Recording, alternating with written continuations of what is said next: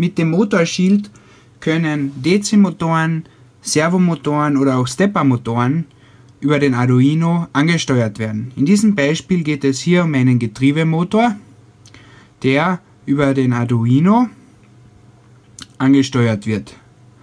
Man kann hier den Motor mit verschiedenen Geschwindigkeiten drehen lassen. Es wäre theoretisch auch möglich, den Motor vor und zurück zu fahren lassen, jedoch muss hier der Motor umgepolt werden.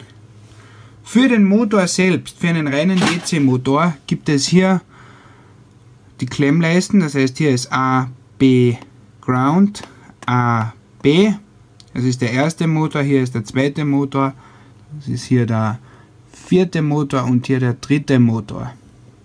Wir haben ihn hier auf 1 angeschlossen. Es ist auch hier in unserem Code so. Wir haben hier oben AF Motor und hier steht 1. Das ist nicht der Pin, sondern der Motor, der über diese Klemmleiste angesteuert werden soll. Unser Beispielcode lässt den Motor jetzt langsam hochfahren und auch wieder herunterfahren. Das heißt, der Motor wird hier schneller und wieder langsamer mit einer kurzen Pause und dann fängt das Programm hier wieder von vorne an.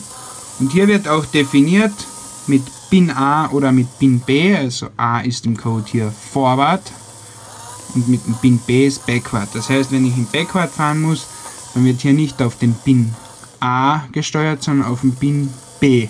Und in der Mitte ist jeweils Ground, also der dritte Pin. Servomotoren werden übrigens hier oben angeschlossen.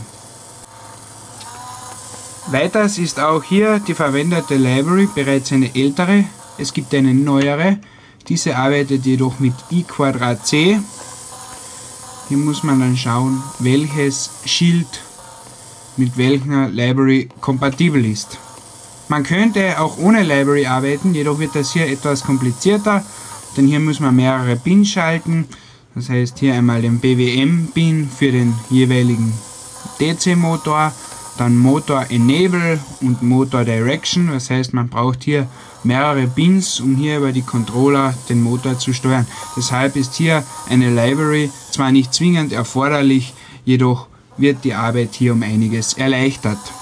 Alle Informationen gibt es natürlich hier beim angefügten Link in der Videobeschreibung und auf unserer Website haben wir hier natürlich eine Zusammenfassung über die BIN-Belegung und auch den Beispielcode sowie weitere wichtige Informationen.